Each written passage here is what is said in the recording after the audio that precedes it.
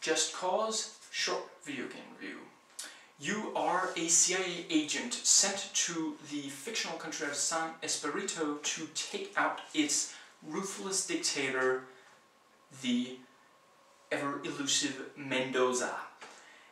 And the the basic gist of it is Grand Theft Auto with extreme sports. You can parasail, base jump, and you know, you can usually fire a gun no matter where you are, whether you're flying, parachuting down, running. The shooting mechanics are much better than those of at least Grand Theft Auto 3 and Vice City, which are as far as I've played in the Grand Theft Auto franchise so far. And when it's at its best, it's exciting, fun, and very varied. But it is sadly also very clearly rushed. There are several noteworthy bugs, including some fairly frequent crashes. And once you've completed the game, there is nothing left for you to do. There is no money system, so progress is literally seen through just rising through the ranks of the Rioja cartel and the guerrillas that you aid in, and they aid you in your in in the coup.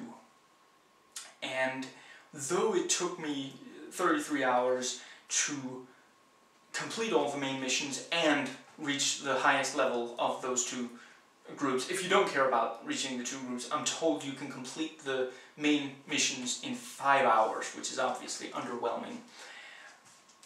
But yeah, there's not much to explore. Too much of the island is jungle and sea, as others have noted.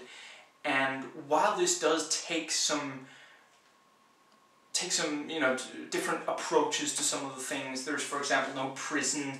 You don't have unlimited ammo, but it is easy enough to refill your ammo and get more health.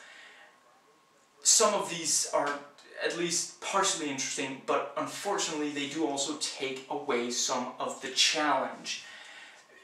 Such as you don't really have to put in a lot of effort to get a lot of ammo before a mission. You just go to a safe house and there you go.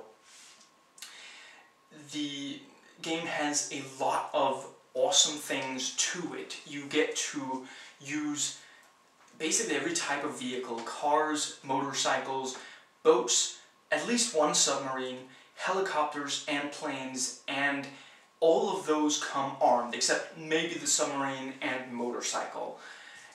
And, you know, even though the helicopters and planes are much easier to come by, and, and boats, than Grand Theft Auto, at least 3 in Vice City, they are also rather useful and they will be met in kind by the police and military. If you take an Apache helicopter into an enemy base on, on a mission or what have you, you may be faced with other Apache choppers and or tanks. And the same goes for if you go in with a tank. And given that there are a lot of cliffs, flying makes a lot of sense, and the, the large area also makes the fast planes quite useful, and the ability to always, and always engage the parachute makes landing much less necessary than, than in real life, and given the, the plentiful sea, sometimes it makes more sense to sail to your destination than drive. If you like this review and want more detailed one, the link will be in the description box. Please rate and comment, and hey, if you like this video, that subscribe button's just waiting for you to click it.